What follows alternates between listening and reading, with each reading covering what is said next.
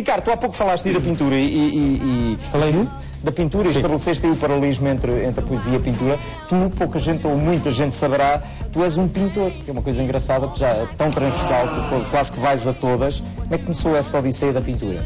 Já com uma, com uma exposição e tudo? Mais, mais do que uma, mas. ah, eu acho que isto começa desde há uns 20 anos atrás. Aquela coisa que se chama preocupação das mães, o que é que os filhos andam a fazer nos tempos livres. E desde muito pequeno andávamos sempre enfiados ou nas oficinas do Museu Nacional de Arte Antiga, ou então em Cascais, no Castro de Guimarães. Resumindo e concluindo, isto despertou-nos curiosidade para uma data de coisas em mim, basicamente. Depois ingressei na António Rui, da António Rui fui para o IAD e um dia resolvi experimentar. Ah, mais tarde, um amigo meu, Rodrigo Moreira Rato, para filme para, para, para fazer uma exposição no- na sede do Automóvel Clube Portugal.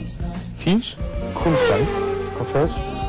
E a partir daí tenho, tenho feito algumas, estou há cerca de 5 anos parado, nunca mais fiz. Quero, estou a preparar uma agora, por acaso no espaço Toyota, no Lounge, da Avenida da República, que espero que seja muito em breve. Mas, mas tens de estar parado porquê? Não tens tempo? Porque andas na Não tenho tempo, tenho que estar nessa. O que é tens? Queres pincéis? Não, não, pincéis tenho, estão todos lavados, prontos a ser utilizados. O que tem acontecido é que neste momento, com o projeto do teatro, que entretanto, aquele espaço que tu assististe, ou que conheceste, que teve que ser desmontado no mês de janeiro, porque a cidadela de Cascais foi para obras, mas agora nesta fase estamos à espera que haja, ou que surja um novo espaço para podermos eh, voltar, preparar e voltar eh, a estar no ativo, apesar de não termos deixado isso a 100%.